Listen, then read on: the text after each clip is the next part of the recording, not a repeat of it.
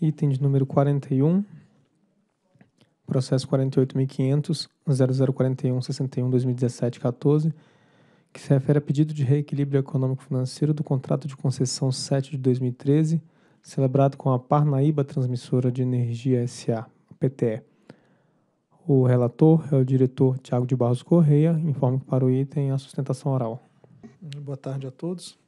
Em 2 de maio de 2013 foi celebrado o contrato de concessão número 7 para a construção, operação e manutenção de instalações de transmissões nos estados da Bahia, Minas Gerais e Goiás, conforme listado resumidamente a seguir. Uma linha de transmissão de 500 kV Barreiras 2, Rio das Emas, uma linha de 500 kV Rio das, Rio das Éguas, desculpa, Rio das Éguas Lusiânia e outra linha de 500 kV Lusiana Pirapora 2. Em 18 de outubro de 2016, a PT protocolou carta solicitando avaliação sobre o ressarcimento de custos para implantação na subestação Pirapora 2 da entrada de linha de 500 kV Lusiana Pirapora 2, conforme relatório técnico, análise de acesso da linha de transmissão é, à subestação Pirapora 2, encaminhado em anexo à referência correspondência. Em 26 de dezembro de 2016, através da. É, aqui está faltando o documento, né? A SCT, a SCT ANEL respondeu aos questionamentos apresentados pela transmissora, informando que os procedimentos adotados para calcular a receita anual permitida, que é a RAP-Teto, para o lote G do leilão 7 de 2012, estavam perfeitamente adequados às obras efetivamente implantadas na subestação. E já em 10 de abril de 2017, a transmissora protocolou nova carta, reiterando os argumentos apresentados na, na carta anterior e solicitando análise do pleito de ressarcimento dos custos decorrentes da alteração de projetos, motivado pela alteração do vão disponibilizado para implantação na entrada de linha da, é, na subestação Pirapora 2. Em 30 de agosto de 2017, a SCT concluiu, por meio da nota técnica 423, que analisou o pleito em tela e encaminhou suas recomendações à diretoria. Em 4 de setembro de 2017, foi sorteado como diretor relator para o processo. É o relatório. Para o item, há duas inscrições de sustentação oral, mas para a mesma empresa, então, para oportuno, alerto que o prazo máximo de sustentação oral é de 10 minutos, de forma que chamo primeiramente o senhor João Batista Guimarães Ferreira da Silva para fazer uso da palavra.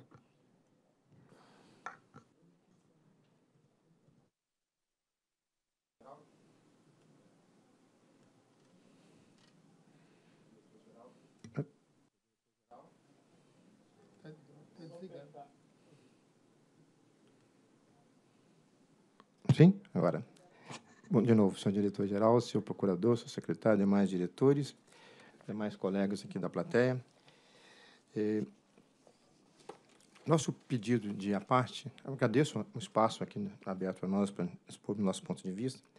Nosso pedido de a parte diz respeito ao fato de que, a nosso ver, é, existe uma omissão importante aqui no, no relatório. Essa omissão é, é oriunda da nota técnica 0423 da SCT, e diz respeito a uma reunião ocorrida aqui mesmo na ANEL, que eu, a qual eu estive presente, em 10 de julho de 2013. E esta, desta reunião é, existe, existiu, existe um ofício 0585, onde a agência manifesta expressamente o que a Paranaíba deveria fazer. Embora nós não tenhamos concordados com, concordado com esse ofício, no sentido de ser, sermos diligentes, nós seguimos é, o que foi dito, o que foi mandado fazer, mas o tempo todo ficamos com isso para ser discutido posteriormente. De que estamos falando?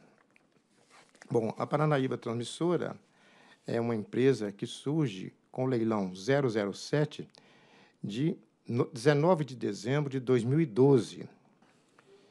E 20 dias aproximadamente antes desse leilão, mais especificamente no dia no dia 29 de novembro, portanto 20 dias antes do leilão, foi publicado no Diário Oficial da União a resolução autorizativa 34, 3743, que contemplava parte do escopo deste desta intervenção em Pirapora a uma outra empresa, a um outro agente do setor. E talvez por descuido, me desculpe se essa palavra não for adequada, é, a agência não teve iniciativa de corrigir o, o escopo do leilão para este lote, permitindo que o leilão ocorresse com essa duplicidade de escopo, um autorizado e o outro sendo leiloado. Muito bem, a Parnaíba sagrou-se vencedora desse leilão, não recebeu nenhum comunicado da agência. Dia, no dia 2 de maio de 2013, tivemos o contato celebrado, aonde também consta essa duplicidade, tivemos a chance de retificar isso e não o fizemos.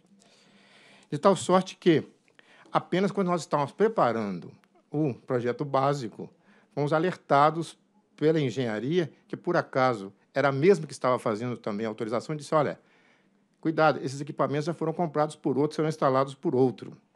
Razão pela qual nós pedimos essa reunião com, com a agência, para esclarecer o fato. É, trouxemos aqui três alternativas de solução naquela época. Pode passar, né? Para resolver a situação. Pode passar? dizendo o seguinte: olha, deverá ser ou reduzido o escopo da resolução, da sua resolução autorizativa, ou reduzir o escopo do nosso projeto, porque vai dar uma sobreposição.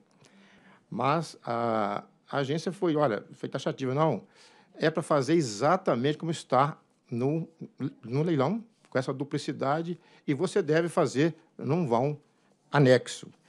Portanto, esse fato é altamente impactante na, no item 20 da, da, da nota técnica, que acaba, por consequência, também ser impactante no item 23 do voto do relator. Me permito ler aqui o que está escrito nesse item 20 da nota técnica. Embora não exista qualquer garantia de exclusividade de uso do vão de uma subestação apenas pela indicação do relatório 4, ou mesmo devido à aprovação de um projeto básico, a PTE poderia ter compartilhado a implantação de sua entrada de linha no mesmo vão em que foi implantada a conexão do segundo banco de autotransformador na SE Pirapora. Negativo. A ANEL disse, não é para fazer isso, é para fazer ao lado. No entanto, a PTE optou por implantar a entrada de linha da LT 500KV eh, Pirapora 2, Lisene Pirapora 2, no vão vizinho ao que estava originalmente indicado. Negativo, não foi a PTE que, que, que optou por fazer isso. Portanto, a PTE apenas exerceu sua prerrogativa de realizar a gestão do projeto. Não está correto.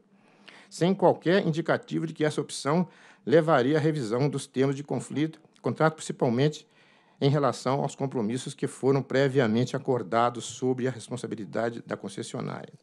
Na nota técnica, eh, a superintendência ainda fala várias vezes que a, empresa, a concessionária, deve analisar todos os riscos inerentes a esse, a esse, tipo de negócio, conhecer as instalações, coisa que efetivamente fizemos. Apenas não podíamos imaginar que seria, haveria uma redução, uma alteração de escopo naquilo que estava contratado. Sendo assim, fomos prejudicados porque nossa empresa trabalha fazendo pré-contratos para minimizar riscos e garantir é, uma boa, uma boa cumprimento das metas. Então, quando fomos é, negociar isso novamente com o, o, nosso empreiteiro. Ele disse: não, agora é outro projeto, porque agora tem terraplenagem, tem, saiu fora da subestação, tem que fazer tudo isso. Então, qual é, enfim, o nosso pleito?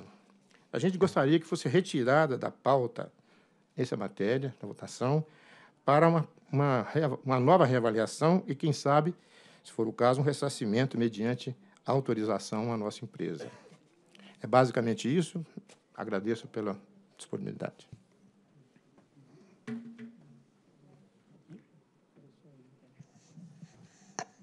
Ok, obrigado, senhor. Procuradoria. Trata-se de pedido de reequilíbrio econômico-financeiro do contrato de concessão de serviços públicos de transmissão. A parte alega que houve um desequilíbrio em razão da necessidade de alteração técnica do projeto. Todavia, o fato invocado pelo agente se insere na área ordinária do contrato de concessão, tendo feito parte das condições para a participação no certame licitatório, já estando contemplado na RAP. Então, de fato, compete aos agentes avaliarem corretamente a modelagem econômico-financeira para formularem suas propostas no leilão, a fim de assegurar o equilíbrio contratual. Até porque quem irá suportar o aumento da RAP é o consumidor, o qual não assume o risco inerente ao negócio. Então, a Procuradoria opina pelo indeferimento do pedido. O senhor tem a cópia do ofício? Eu vou retirar de pauta para ler esse ofício. Então, retirado de pauta o processo. Próximo item.